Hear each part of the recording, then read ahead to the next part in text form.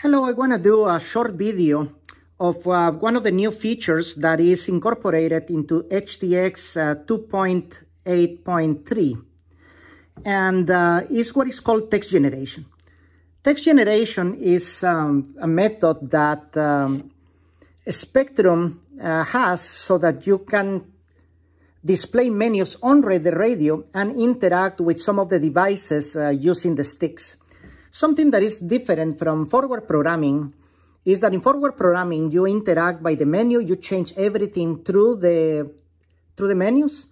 But in the case of text generation, it's much more simpler. The, in this case, the ESC will just display the information on the screen and you will use the sticks of the radio to actually navigate through the menu.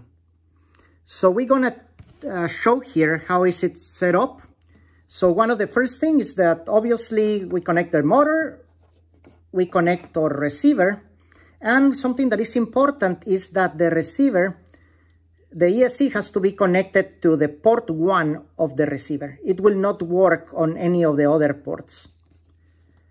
The second thing is in the radio, you have to set up your ailerons as well as your throttle and um, elevator to move 100%. So no dual rates uh, allowed uh, in there because to be able to get into the programming menu, it requires that the movement is 100%. So here is already program. I will show you how how it works. The so in this case, I have on my switch A the throttle so in this case, it's moving clockwise right now.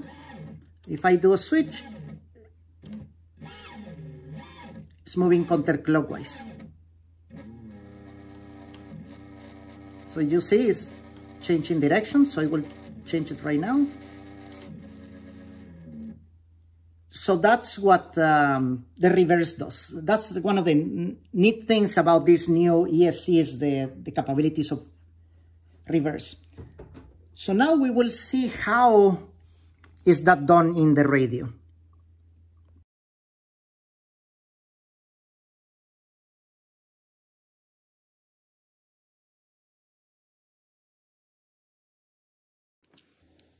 Now to program that ESC, we have to use this new Lua script that is called DSM Smart RX Telemetry. The script has um, kind of many menus, but the one that we really want to use is uh, text generation. So this menu is being sent by the ESC to the radio uh, through the receiver. So the receiver is an intermediary, but the Avian ESC is actually sending the, the information. So now, if you see here, is asking to use the um, low throttle, that's good, up elevator and uh, left aileron to get there. So if I try to do it right now, it will not work. We'll zoom out a little bit. It's not working because it's protecting um, the settings because it only can be done within the first 30 seconds of uh, connecting the ESC. So we'll do that we disconnect the battery. Reconnect the battery. Now the ESC is initialized, so up elevator, left aileron. We will go to step two. There you go. Now we go to the other side. Five seconds, and now we are in the menu. So to navigate the menu, we use up and down. And to change the values, we use left and right. So let's zoom in to see how, how it looks. Let's do it again. So you have a, a better view in there. Disconnecting the battery. Telemetry lost. Connecting the battery recovered. again. Okay. So now I go elevator left aileron and you will see now it will go to step two There you go. And now it's right aileron up elevator for five seconds. There you go. So that's the menu that is used to program the settings of the ESC.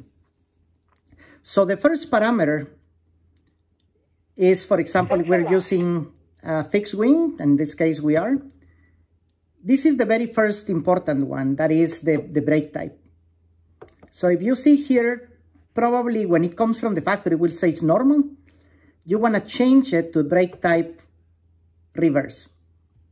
Then the other thing that you want to do is program a channel to be used for reverse. So that's almost all the way down in the menu. So here we go. Thrust reverse. So right now it's on channel 7. We can change it to channel 8 or really any, any, any channel. Even if your receiver is just six channels, you can use any channel above, um, well, really any, any channel, but you want to use the ones that are above six. So if you need to use the, the pins for the servos, you are not using a channel that you can use for something else. So, so let's use channel 7 that is completely uh, over the range of this uh, six channel receiver. So it will still allow me to connect up to six servos to it. So then it will go down and save.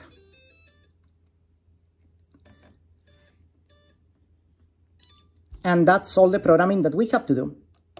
Now we go back to the model. What do we have to set in the model?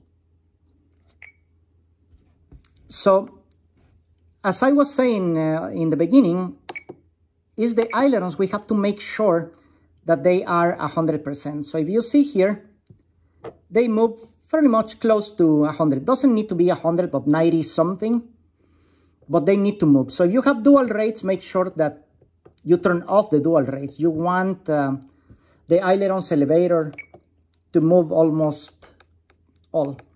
The other thing that I have is I have, in this case, my switch A to do reverse.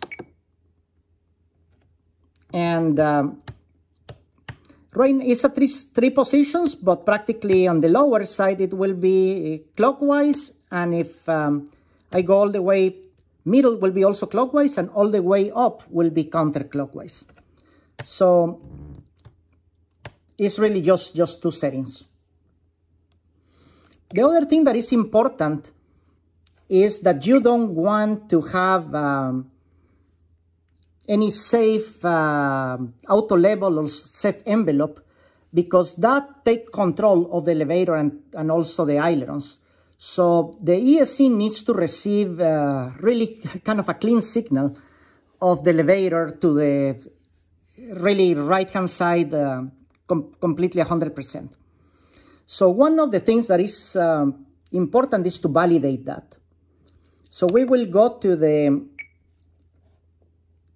AS3X settings also in same smart telemetry and we can check what are our current settings. So for example, here I, in my switch, I have flight mode 1, flight mode 2, flight mode 3. So flight mode 3 is my angle uh, demands. The other one is safe and we don't want any of those when we are setting up the ESC. So we go to the basic that is usually flight mode 1 that is the most basic that is just AS3X uh, uh, heading. The other thing that this script has is a little bit of information about the ESC status. so you can see here telling me the voltage, temperature, and uh, some other values. So for example here is displaying how much amps is the motor using and so on. So it's a value in, in, in real time. Uh, I know that there are some still some bugs in the RPMs and the throttle percentage, and that's something that we're gonna fix probably in 2.4 or, or, or, later. That is uh, some values in the telemetry, we are not uh, processing them correctly, so we will need to, to fix them in a, in a future release.